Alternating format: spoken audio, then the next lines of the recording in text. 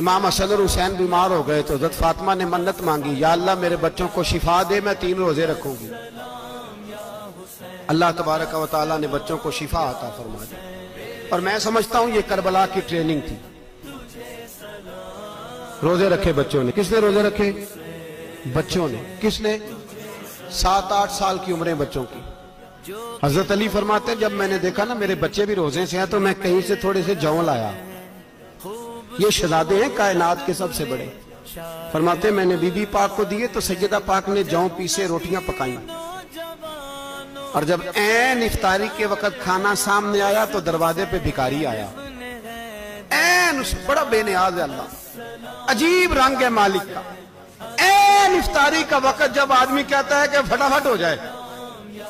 بھکاری دروازے پہ آیا اور اس نے صدا دی، او میرے رسول کے گھر والوں کئی دنوں سے روٹی نہیں کھائی۔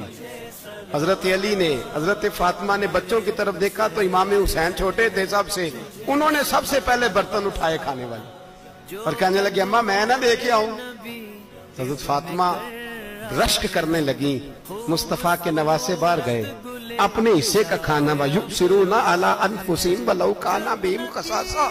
اللہ فرماتے ہیں، انہیں بڑی اشد ضرورت بھی ہو پھر بھی وہ دوسروں پہ اشار کر دیتے۔ ہیں وہ کھانا بار امام حسین دے آئے۔ پانی سے روزہ کھولا، کھجورے کھائی، لیٹ گئے، سویرے کھجورے کھائی، روزہ رکھ لیا۔